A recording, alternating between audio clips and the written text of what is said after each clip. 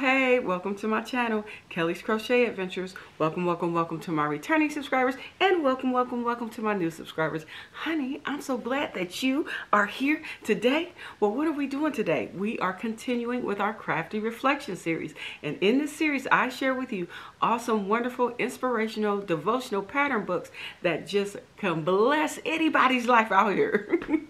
and the one we are still continuing to uh, enjoy is Knit, Pray, Share, written by the lovely Lisa Hennessy. And if you have not grabbed you a copy, honey, what you wait for? This is amazing. No, she ain't tell me to say that. I just love it so much that I had to share this. I got to tell you, this is awesome. And I'm to tell you what, out in these YouTube streets, people who have this book absolutely love it. It is such a blessing.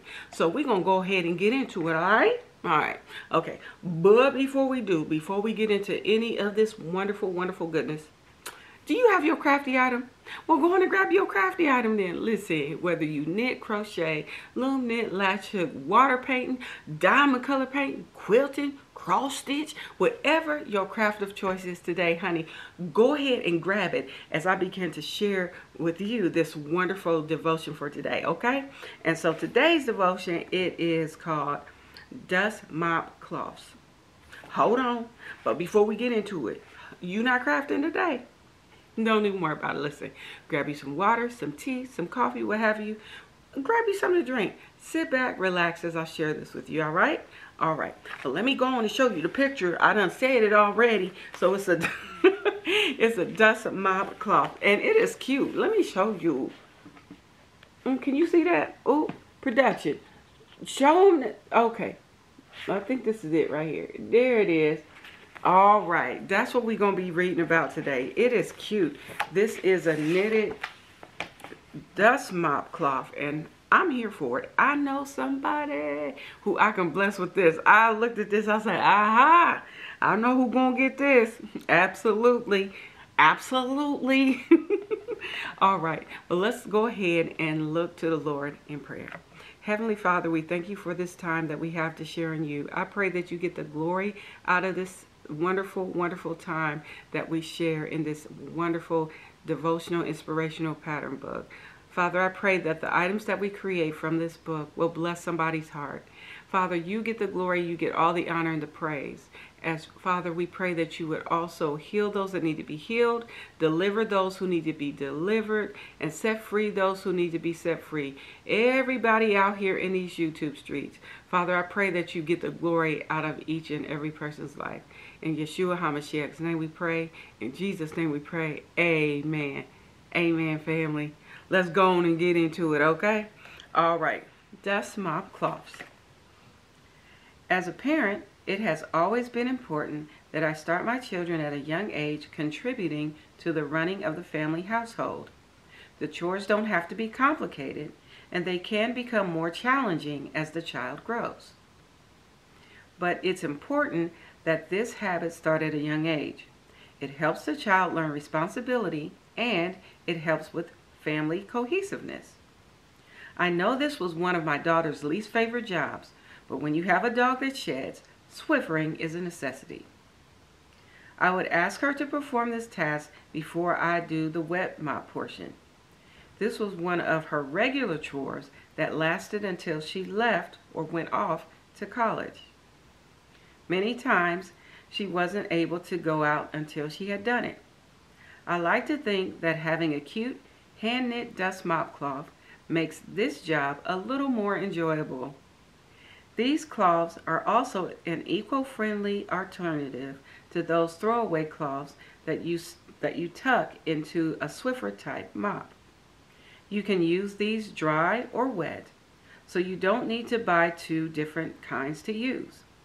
Not to mention, with this gift, you aren't adding more to our landfills. These are great gifts for a parent, grandparent, or other caregiver to use with a little help at your time. Proverbs chapter 22, verse 6. Start children off on the way they should go, and even when they are old, they will not turn from it. Dear Lord, help this parent, grandparent, or caregiver to train up their child in the way they should go so that they are grounded in your word. I pray for the person who receives this gift to not be discouraged if their child does not always have a helpful spirit. You can change anyone's heart, including a child's. It is in the name of Jesus that I pray these things. Amen. Amen, family. This was beautiful. I love this. Oh, I love it. It's so pretty. Okay, I showed you a picture, but I'm going to show you this in picture. This is what it looks like. This is the pattern. Isn't that pretty? I love it. That's the cadence of the pattern, kind of how it goes. And I'm here for it. I know somebody I can bless with this. Let me show you again uh, so you can see these. Production cooperating. Yes, see those? Aren't those cute? Oh my gosh. They're so super cute. So I'm ready to bless somebody with it. How about you? All right, family, listen.